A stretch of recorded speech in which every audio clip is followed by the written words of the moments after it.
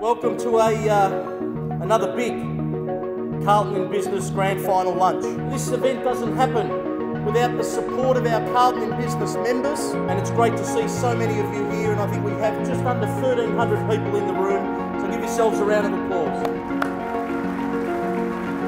It's been amazing. The energy is just fantastic from the moment we walked into the end of the event. It's been brilliant. The networking has been incredible. We've met so many people throughout the year and today has been a great way to finish off the season because we've been able to catch up with everybody that we've met.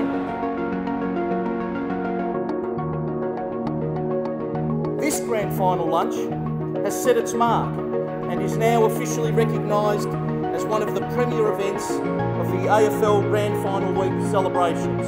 Carlton in Business is the leader in the AFL by far when it comes to bringing the Australian business community and our game together.